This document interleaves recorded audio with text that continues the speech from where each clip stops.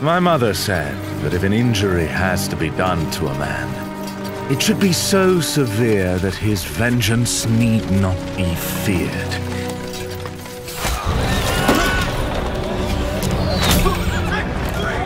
The same, obviously, goes for women.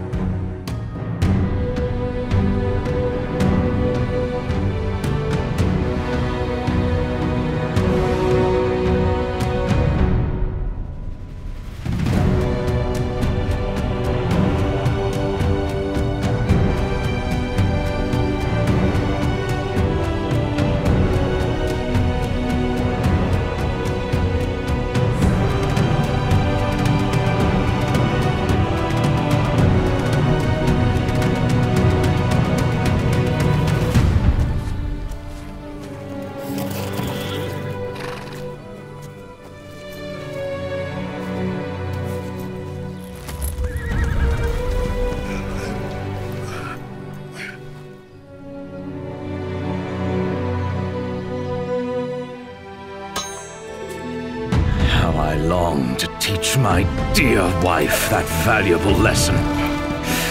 She will learn that real strategy.